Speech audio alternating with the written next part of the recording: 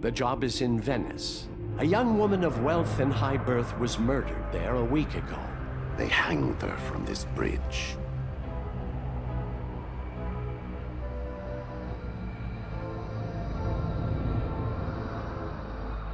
Her name was Bianca Cardolo.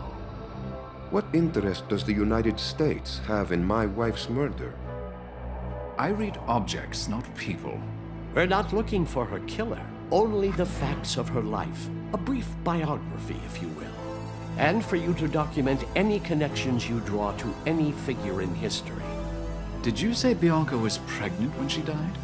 I think as a historian, you'll find it quite fascinating.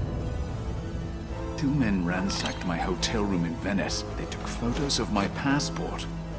I'm done. If you need me again, you know my terms.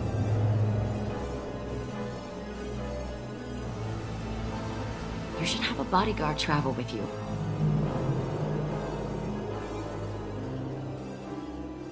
I can't trust someone I've just met. How could I be sure they weren't already bought off? I think I can fix this. Or I can keep walking.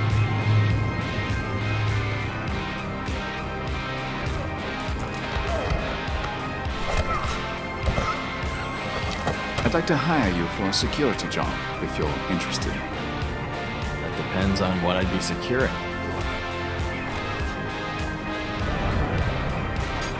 Mr. Rector! I can't do my job like this. I have to know what it is I'm protecting you from. I don't owe you any explanation. This is why I don't do people. We've identified several more candidates. We need you to research each of them and tell us which one is the real Livia Drusilla. I always knew that I was meant for something important.